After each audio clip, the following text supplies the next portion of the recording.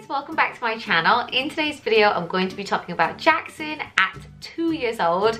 He is two today, so I thought I would talk about his progress and what he's been up to because I have documented his whole life, all of his updates since I was pregnant. And then I used to do updates when he was a newborn and month by month. So if you have a different aged baby, I will also link all of his previous updates in the description down below. And if you have followed along all that time with Jackson, I just want to say a massive thank you.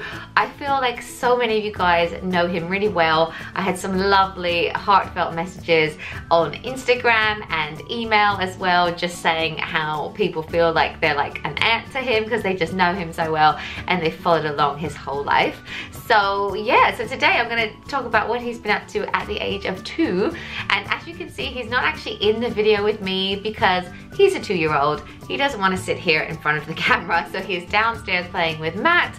But I'm going to talk about what he's been up to and also put in loads of video and cutaways so you can see what he's looking like, what he likes to play with and stuff like that. So for his two year celebration, we had a little party in a cafe in our town. Uh, I wasn't gonna do anything major for his birthday, but then his two older brothers kept asking what party Jackson was gonna have. But it was actually really nice. We had a cake and balloons and some of our closest friends. And he was so excited when we sang happy birthday and stuff. So he had a really, really good time and he's got some lovely gifts, which I will talk about in a minute. Um, but the biggest change at the age of two is Jackson has started nursery. So months and months and months ago, I thought, when Jackson's two, I think I'll be ready for him to do a tiny bit of nursery. So I signed him up ages ago and it's come around so quickly, but he officially started this week. So before he started, he had four settling in visits where you basically just go and play. He gets to know his key worker and the people there. Um, and then, yeah, he's doing two mornings a week. So he can stay for three or four hours. But at the moment, just to get him used to it, we've left him for like two hours and then for three hours. But to be honest, he's really enjoying it. I've got Matt to do the drop-offs because I really struggle to drop him off. So I think it'll be better if Matt does it for now. Um, and yeah, he hasn't really cried. Matt said he gets a bit tearful, hangs onto his blanket, which is his comforter, but then he goes over to the girls quite easily and they say he plays really well when he's there. Um, he's not eating very well there, but I'm sure that will come.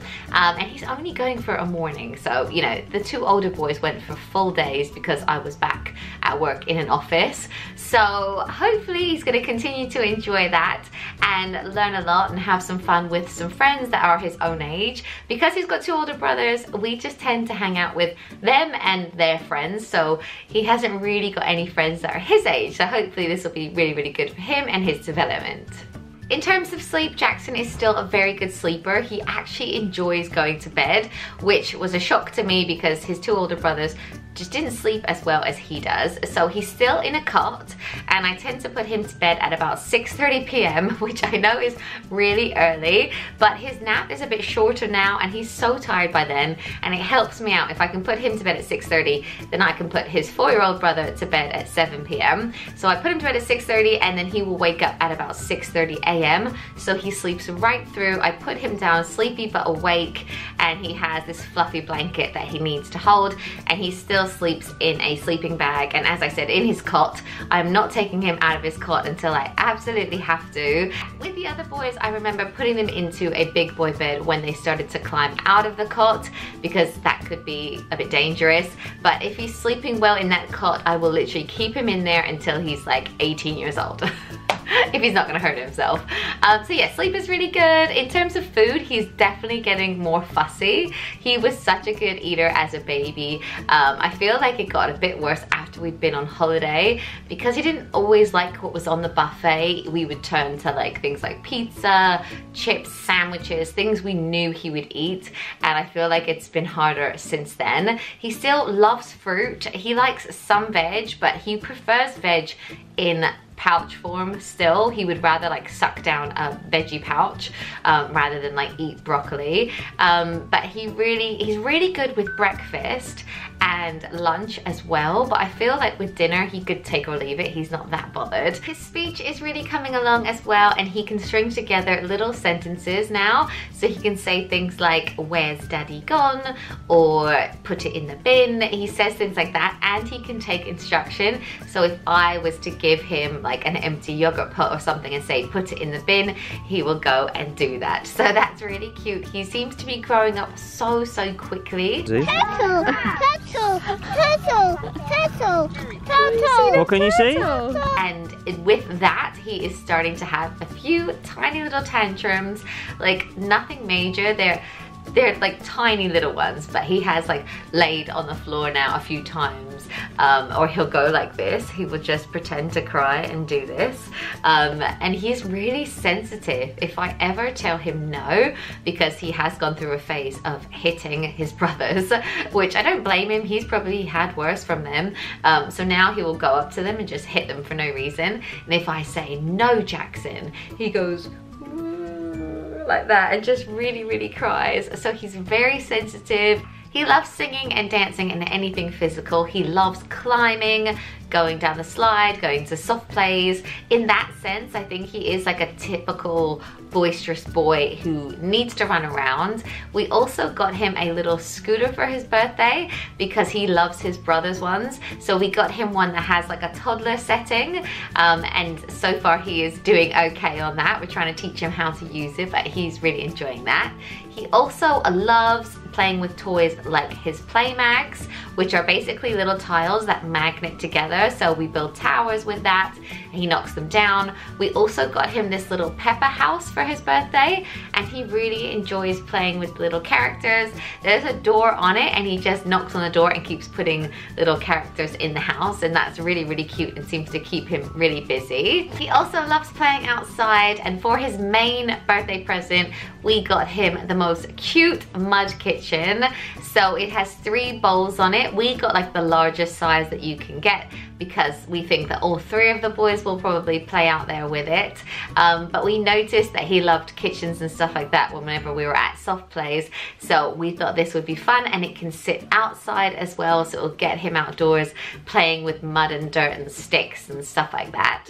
So it's really cute. I will link all of the birthday presents in the description if you want to check them out. He also really loves those little wooden puzzles that you get. So we have one that he particularly loves which has shapes on it and he can tell you what every shape is, even like hexagon, pentagon, oval, rectangle. He can say all of them and he really loves them. Where is the hexagon?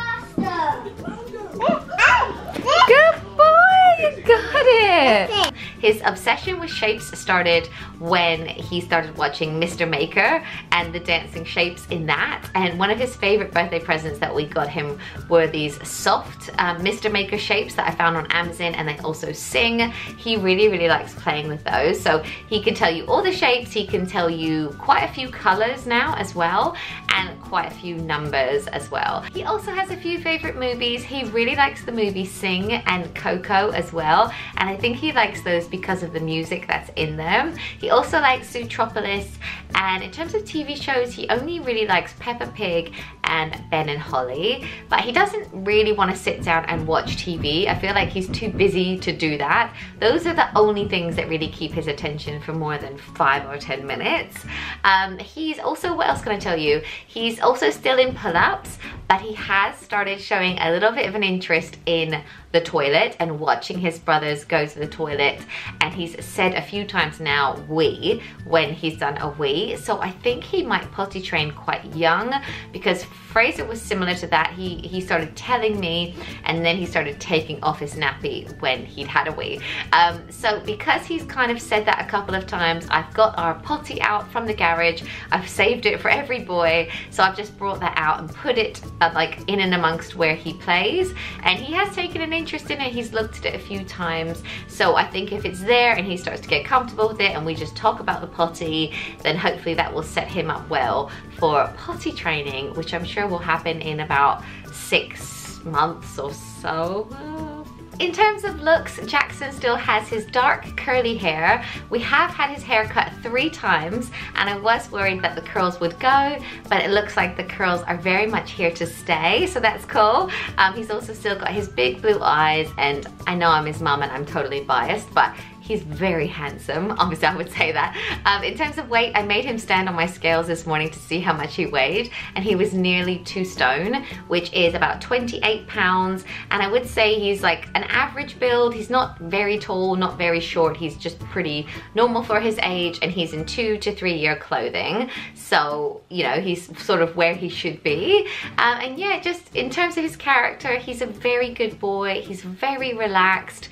I guess being the third child child. He hasn't really got a choice. He kind of gets dragged here, there and everywhere. He's also traveled quite a lot with us. Um, he's been on lots of flights and he seems to take them in his stride and adjust to a change in his routine very well. I just wanted to say I'm just so proud to be his mummy. He's such a sweet boy and obviously we just love him so much and thank you to you guys for following along i feel like this is like the end of an era i feel like this is like my last baby update because he's like a toddler now and on that note, so many of you guys have commented, oh, need to have a fourth baby and stuff like that. But I think he is our last baby. Well, I flip between wanting another and then sometimes thinking, oh no, like three is quite a lot. Like we went on holiday this summer and we had moments when I was like, this is really full on. And Fraser, his eldest brother, has just started the juniors and the schoolwork is getting, you know, like he's gonna need quite a lot of help with that. Um, Caleb's in reception now and they all have like a million clubs every weekend and parties and stuff and I just feel like I don't even know if I could split myself again if I had four.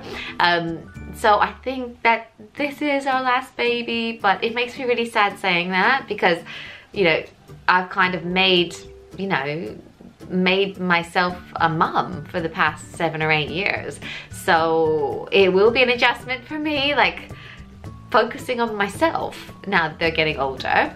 Um, but yes, I think that's it. I'm just rambling now. So I'm gonna go. Thank you so much for watching. I feel really emotional now. Bye. Maybe we'll get a dog or something.